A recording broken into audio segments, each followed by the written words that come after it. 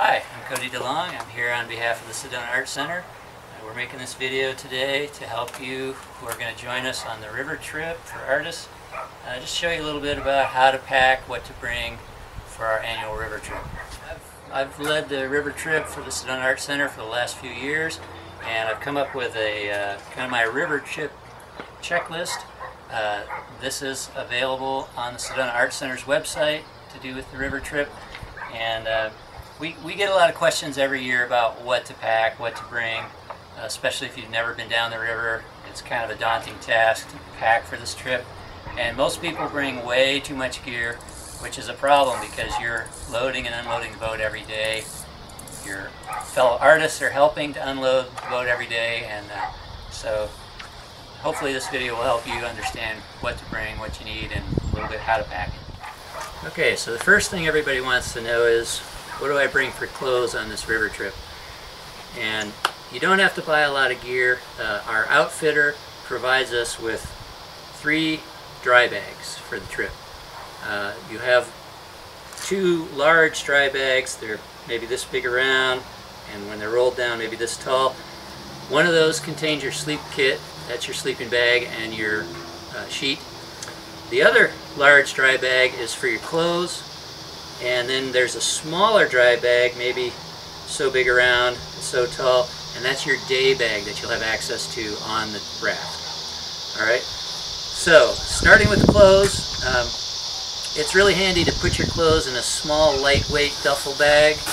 This will slide in and out of your your your, your dry bag, and uh, believe it or not, this is my clothes for the whole week. Uh, in this bag, uh, on my checklist again, you'll see what I've got here. Generally, I bring uh, two pairs of long pants, uh, something a little lighter, and something a little heavier in case it's cool in the evening. Uh, we'll bring two pairs of shorts. I got a quick dry pair that I wear on the river, and then just a regular pair of shorts as well. A uh, couple of t-shirts, uh, a long sleeve, kind of a button down shirt is nice. You quickly throw over you if you get cold at night. Uh, I've got another long sleeve shirt that I'll use sometimes for painting in. And then also you want to bring uh, a nice sweatshirt or a fleece jacket or something. And if you wear this at night, in addition to the two-piece rain suit, uh, that serves, that doubles as a jacket. That should keep you pretty warm. Also, of course, uh, you know, we got socks and underwear. And then I bring uh, a little mesh bag as well. And, uh, you know, if you get halfway through the week and nobody wants to sit next to you, you can go down to the river and wash some of your clothes. Alright, the next duffel is your bathroom duffel. Uh, this and the clothes duffel generally will go together in the dry bag provided by the outfitter, so they don't have to be waterproof. Uh, in my case, it's just an old stuff sack. Uh, in there, I've got my, my bathroom kit. Uh, I like to bring a little pillow. And also a washcloth and a towel. And then also at night, I, I bring a little stocking cap. If it gets cooler, it's nice to have that to sleep in. So in the bathroom kit, the most important thing that I tell people to keep in their bathroom kit is your headlamp. Uh, there's nothing worse than waking up in the middle of the night, you're fumbling around in the tent, you don't know where you are, you got to use the bathroom, and you can't see. So I always keep my headlamp in the bathroom kit. Alright. Um, I put some other stuff like my soaps and lotions, keep those in Ziploc bags uh, any allergy meds or evening meds, vitamins, uh, keep some tweezers, nail clippers, that kind of stuff, and just toothpaste, toothbrush, some lip balm, just all the basic stuff for camping. Uh, in my case it's pretty light. And just keep it simple so you can find everything and again, that all just goes in one bag. And that bag goes in your dry bag with your clothes. Uh, remember that you're not going to have access to this stuff during the middle of the day when we're on the boat. Uh, these bags, these larger dry bags, go in the bottom of the boat uh, and they're covered with tarps and tied down with ropes so you won't have access to that during the day. So if you have any midday meds, you want to keep those in your day bag, which we'll talk about next. The outfitter provides three day bags, two large ones and a smaller one. The smaller one's the one you're going to have access to during the day. That clips on top of the boat, right where you're sitting. So you want to have the items you're going to need during the day in your day bag. Again, I use a small little duffel. This slides in and out of the dry bag really easily, and I can just pull it out and get at the items I need right away as we're bouncing down the river. Um, the first most important thing you want to have in your day bag is your rain suit. I highly recommend a two-piece rain suit. Um, this isn't anything high-tech, it's just a vinyl rain suit. Uh, pants and top. And, uh, you know, you, you need something decent, not, not the really cheap, you know, emergency poncho, those always tear. But it doesn't have to be expensive either. Just make sure you've got the rain suit. There are days where we go through several rapids in a row, and if you get soaked and you get cold, you know, that's no fun. So make sure you got your rain suit in your day bag. Other items in your day bag that you want to have are uh, obviously a camera. Um, I've got a waterproof one after ruining a couple in the past. However, if you don't have to have waterproof, uh, you can get a little camera bag. It's got like a little lens in it. That's good too. Um, but you know, you got two enemies on the river. You got water and you got sand. Sand gets in everything, so uh, you want to keep your camera out of the elements as best you can. Uh, a lot of people like to bring a river map. They sell these waterproof river maps at the lodge up there. Um, pad and paper for notes. You want to have at least two pair of sunglasses with straps on them. Uh, just I just bring cheap sunglasses. You can buy the straps also at the lodge. I often bring a little do-rag, bandana. Uh, you want an extra hat with a hat clip. The hat clip clips to the collar of your shirt, so a big gust of wind comes along, blows your hat off, you still have it. All right. Um, another item a lot of people like, including myself, is uh, aqua socks. These are neoprene socks. Uh, again, if we're going through a lot of rapids and we're getting really wet or it happens to be a cold, rainy day or something, um, my feet get cold easy, so I'll just reach in and throw these on. Those can also be purchased at the lodge. Um, I always bring an additional trash bag and uh, if you want to bring a small pair of binoculars, or I just bring a monocular, small monocular uh, as well.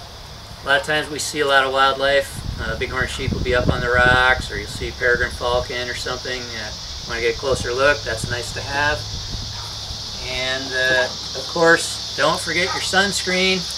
And don't make the mistake I did one year and buy sunscreen that isn't waterproof, because that's worthless.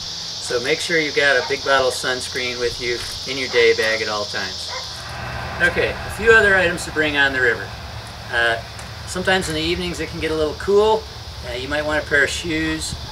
I just bring an old pair of tennis shoes. Doesn't have to be expensive river shoes or anything, but most likely will get wet and dirty, so just an old pair of tennis shoes. Most of the time on the river, I'm just living in my sandals. So, you know, a nice pair of sandals is great to have. Uh, you don't want to bring more than one pair of shoes though. They take up a lot of space and a lot of weight in your bag. Uh, one pair is really enough. Another thing you want to have is, of course, a water bottle. And it's great if you can have some kind of carabiner or something attached to that. This clips onto the ropes on the raft during the day. Uh, you don't want to depend on the little strap that comes with a lot of these bottles. It breaks off, your bottle sinks, and you're not a happy camper anymore. So Get yourself something with a carabiner that you can clip on. Another item is your sleeping pad. Now the outfitter provides us with a foam pad. Uh, however, if you're a side sleeper like me, it's not quite enough. So I like to also bring my own little supplemental pad. Uh, you notice this thing isn't real big.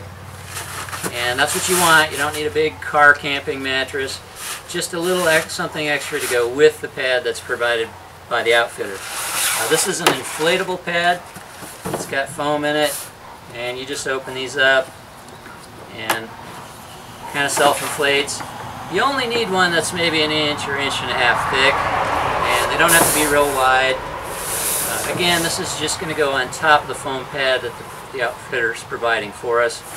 And then you still also have your sleeping bag, so you end up with a pretty nice bed that way. Uh, and another item I like to bring is a little Tupperware, something, you know, uh, waterproof.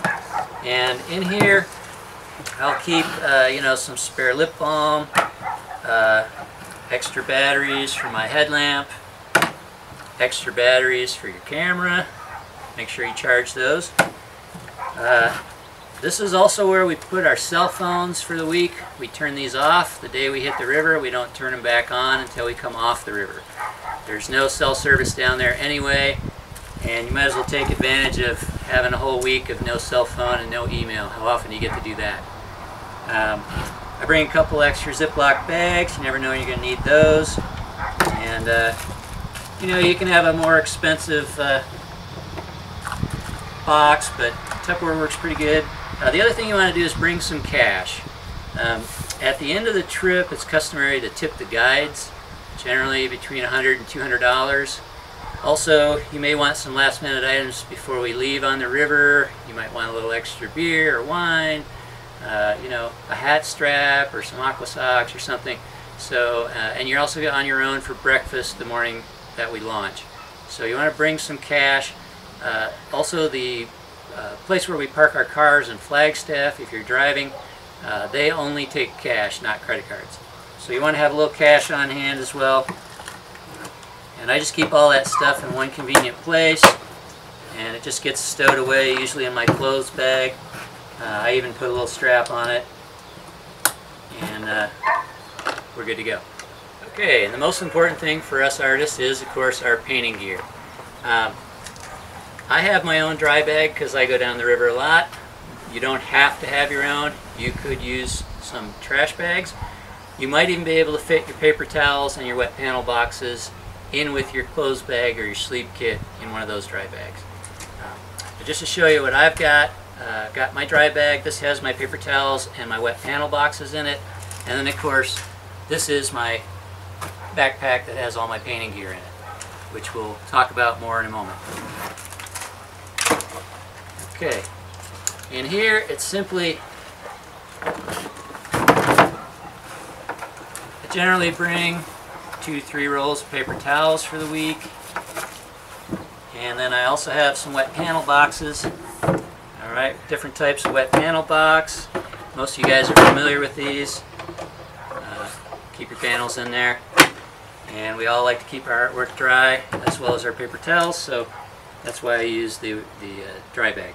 Okay, for most of you guys who do a lot of plein air painting, this may be a little redundant, but every year I get some questions about the painting gear, so we're going to go through that real quickly as well. Uh, you want to make sure you got your big dumb painting hat. You're not a real plein air painter without that. Uh, you want something with a strap on it as well. All my pochade box, the tripod and everything fit in this backpack, which is really great because then I can hike hands-free. I can have my camera and whatnot.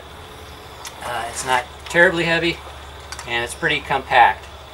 Um, Pochade box is really the best setup on the river because they're lighter and smaller. I don't recommend bringing a full-size French easel if you can help it. They're a little vulnerable and heavy. Uh, Soltek easels are not great because the legs always jam in the sand. I've seen that time and time again. Uh, the tried and true Pochade is really great. I'll set mine up real quick if you're not familiar with this setup. It's just a camera tripod with a paint box on it.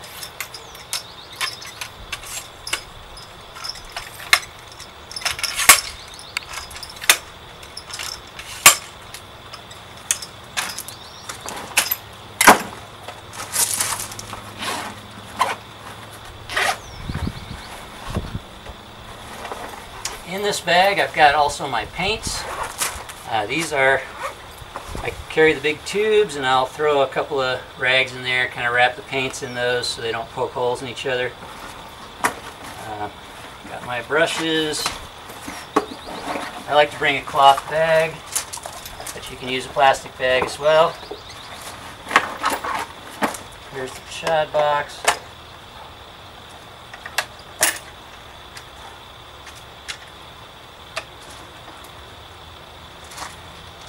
And I just hang all my stuff off that.